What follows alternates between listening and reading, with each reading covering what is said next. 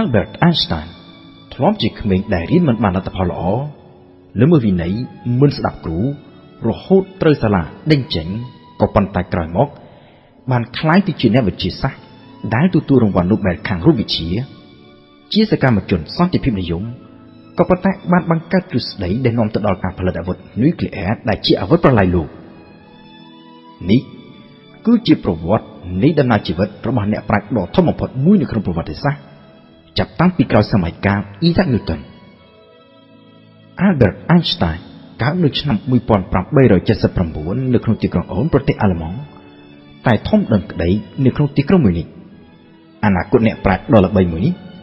កើតមកមិនមានលក្ខណៈពិសេសអ្វីឲ្យលើសពីក្មេងដទៃទៀតនោះទេ គឺមានតែផ្ទុយទៅវិញ Einstein ជាក្មេងដែលក្រចេះនិយាយរហូតធ្វើឲ្យឪពុកម្ដាយព្រួយបារម្ភខ្លាំង ហើយនាំយកទៅជួបគ្រូពេទ្យដើម្បីពិគ្រោះយោបល់តទៅដល់អាយុ3ឆ្នាំទៅ4ឆ្នាំទើប Einstein ចេះនិយាយនៅវ័យកុមារនៅក្នុងពេលដែលក្មេងៗស្របាលគ្នានៅសម័យនោះចូលចិត្តលេងច្បាំងគ្នា Einstein វិញចូលចិត្តលេងសង់ផ្ទះជាពិសេសសង់ផ្ទះជាច្រើនជាន់ដោយប្រើសន្លឹកវាហើយចូលចិត្តនៅតែឯងអង្គុយសិញ្ជប់សិញ្ជឹងនិងស្រមើស្រមៃ នៅក្នុងការស្រមោះស្រមៃនេះ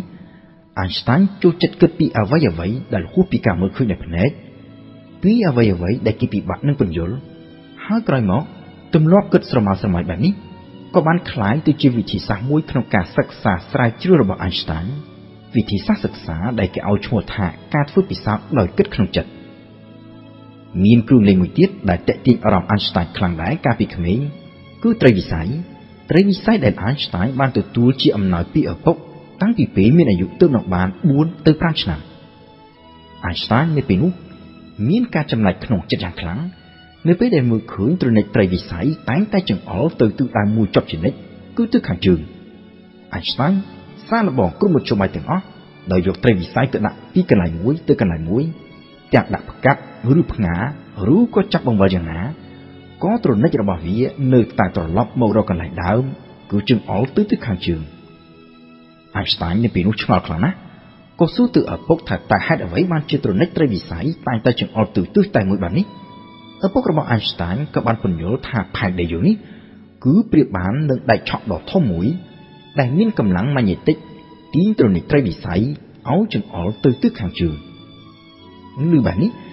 Einstein មិនត្រឹមតែអស់ចម្ងល់ក៏ប៉ុន្តែកាន់តែមានភាពអស្ចារ្យក្នុងចិត្តថែមទៀតនៅពេលដែលដឹងថានៅជុំវិញខ្លួនយើងនេះមានកម្លាំងដ៏ចម្លែកមួយ ដែលយើងមើលមិនឃើញ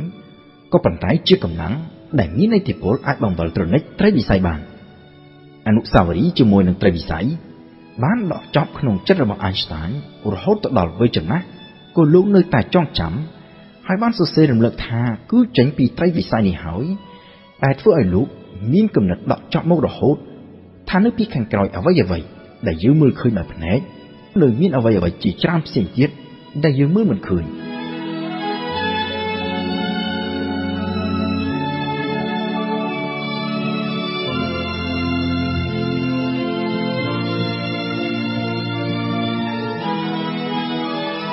ក្រៅពីកម្លាំងម៉ាញេទិក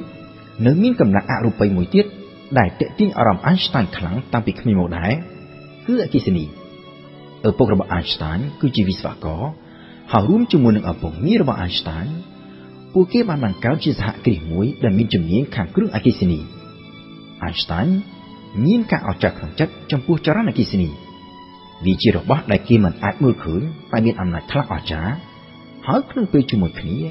ក៏ពុះពេញទៅដោយគ្រោះថ្នាក់ផងដែរ Einstein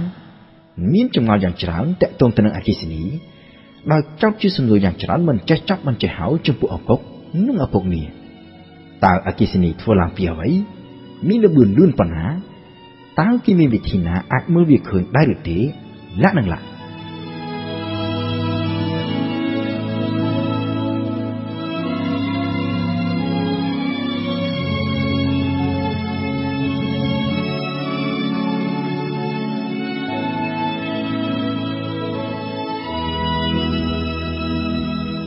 អៃស្តាញកើតនៅក្នុងត្រកូលជីវិត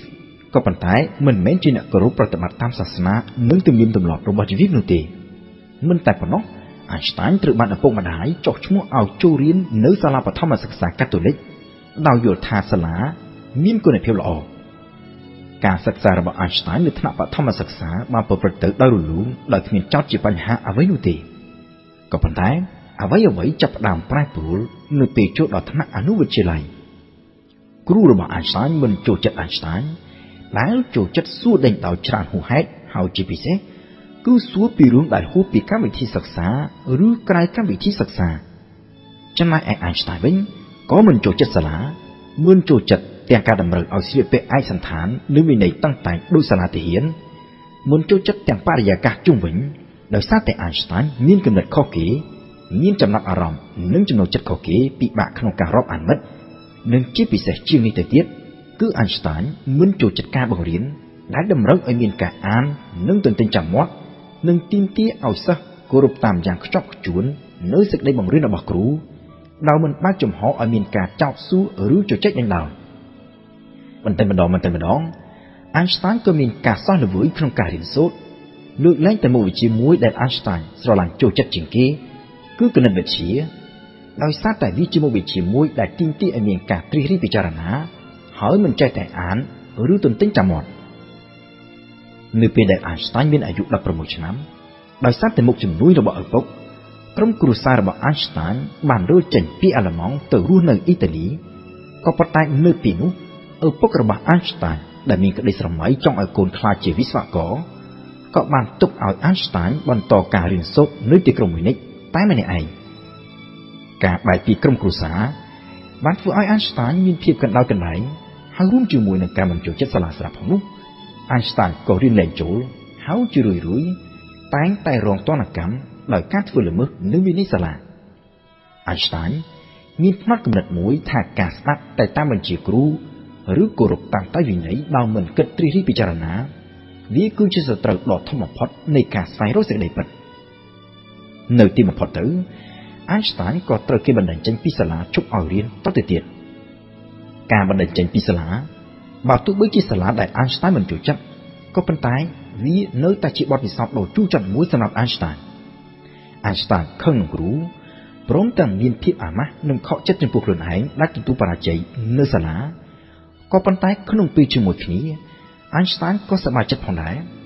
សប្បាយចិត្តនឹងបានទៅរស់នៅជួបជុំគ្រួសារនៅអ៊ីតាលី